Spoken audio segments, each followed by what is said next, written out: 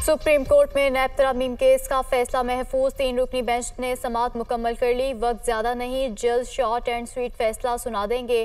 Chief justice Umar Ata Bandial नैब कानून को वाजे होना चाहिए था। क्या मुहिम कानून कायम रह सकता है? हम पार्लियामेंट को रिमांड बैक तो नहीं कर सकते। पार्लियामान बालादस्त है, दरख्वास्त कर सकते हैं, दोबारा देख लें। कानून के माजी से इतलाक का मकसद तो ये हुआ कि सज़ा याफ्ता मुजरम कहेगा, मेरी सज़ा ख़त्म और पैसे वापस करो। माजी से सबक सीखते हुए अब सो मोटो नहीं लेते।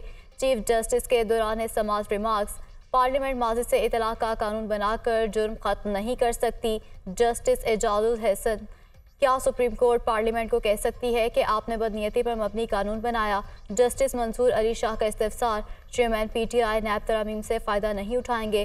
ख्वाजा हारिस के दलाइल।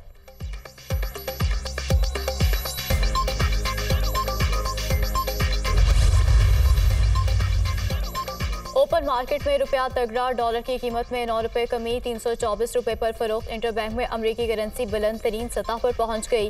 कीमत में एक रुपये छत्तीस पैसे इजाफा, तीन सौ सात रुपये पर ट्रेड।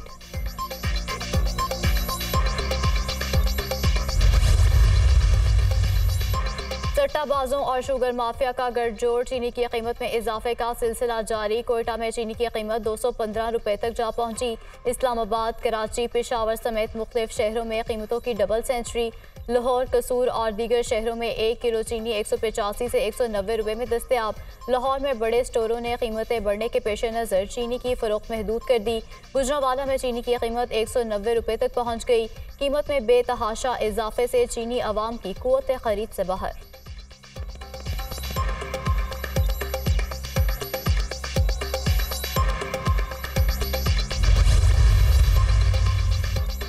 परवेज इलाही की थ्री एम पी ओ के तहत गिरफ्तारी का हुक्म मअतल इस्लामाबाद हाई कोर्ट का सदर पी टी आई को फौरी रिहा करने का हुक्म। जस्टिस तारिक महमूद जहांगीरी पर मुश्तमिल बेंच ने three M P O order मअतली की दरख्वास्त पर फ्री कैंट को आइंदा मंगल के लिए नोटिस जारी कर दिया।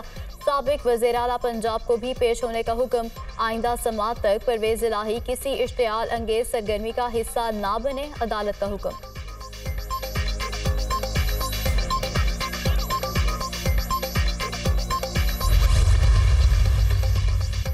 लाहौर हाई कोर्ट का भी परवेज इलाही को पेश करने का हुक्म। चीफ कमिश्नर इस्लामाबाद परवेज इलाही को अदालत में पेश करें। जस्टिस मिर्ज़ा वकास रऊफ की हिदायत अदालती हुक्म के बावजूद पेश न होने पर CPO Rawalpindi, DPO Attock, superintendent Attock jail को तोहिन अदालत के नोटिस जारी। जस्टिस अमजद रफ़ी की अदम दस्तियाबी पर जस्टिस मिर्ज़ा वकास रऊफ ने केस की समात की।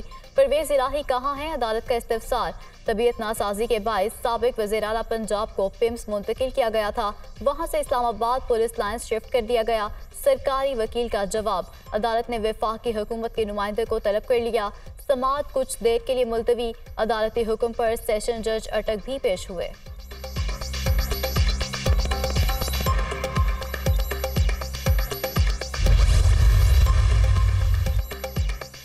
आईएमएफ का बिजली के बिलों में रिलीफ की इजाज़त देने से इनकार। आलमी मालियाती इदारे ने निगरान हुकूमत का बिजली पर रिलीफ प्लान मुस्तरद कर दिया।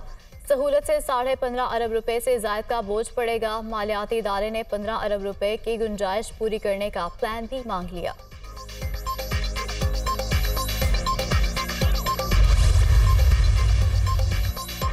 इंतबात के लिए हर मुमकिन ताउन करेंगे। आइनी तौर पर हुकूमती निज़ाम में बड़ी तब्दीली नहीं ला सकते। आइन के मुताबिक मरदमशुमारी के बाद हल्का बंदियाँ ज़रूरी हैं। तमाम सियासी जमातों को बिला इम्तियाज़ इंतबात लड़ने के मसावी मौाक़े मैसर होंगे।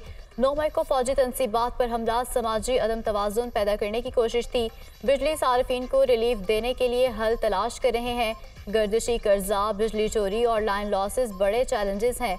इतिहादियों का छोड़ा हुआ असलहा अस्करियत पसंदों के हाथ लग चुका। इतिहादी अफवाज के इनखला के बाद मनफी सूरत हाल हमें भुगतना पड़ी। इस चैलेंज के सामने हार नहीं मान सकते। आलमी बरदरी हमें जिम्मेदार मुल्की हैसियत से देखे। निगरान वज़ीर अजम अनवारुल हक काकड़ की गैर मुल्की ज़रा इबलाग से गुफ्तु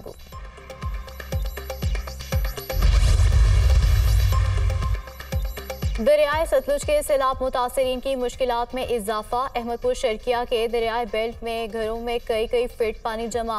मुतासरीन बंद पर रात जाकर गुजारने पर मजबूर।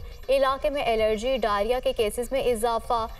हेड गंडा सिंह पर पानी की सतह उन्नीस हज़ार छः सौ पचास क्यूसिक हो गई।